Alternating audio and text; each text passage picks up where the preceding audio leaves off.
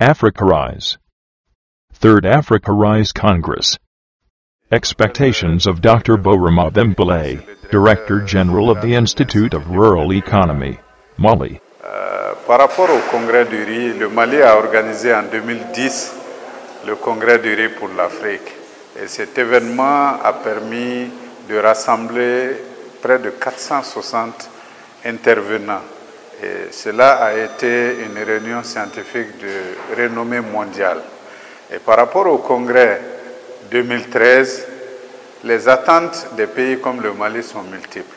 D'abord, au niveau de la recherche, c'est d'avoir une idée des avancées scientifiques au niveau euh, de la recherche sur le riz et aussi des innovations qui ont été mises au point.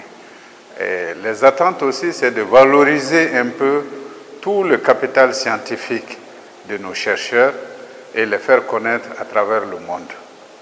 Et pour ce faire, nous pensons que nous allons euh, présenter des articles et avoir une participation très relevée au niveau du congrès 2013. Maintenant, par rapport aux innovations pour la mise en œuvre du plan stratégique euh, d'Africa Rice, euh, le troisième mécanisme qui concerne les pôles d'innovation euh, est un mécanisme nouveau. Donc, et ce mécanisme s'appuie sur les plateformes d'innovation. Nous connaissons plus ou moins les plateformes d'innovation, mais les mettre dans un pôle, disons dans une zone géographique qui va rassembler toutes les technologies pour avoir de l'impact est une nouveauté. Et le Mali a déjà identifié deux pôles qui vont euh, servir pour la riziculture irriguée et la riziculture de bas-fond. Et nous pensons que euh, à travers ce pôle, nous allons rassembler l'ensemble des acteurs de la chaîne de valeur pour faire de l'impact.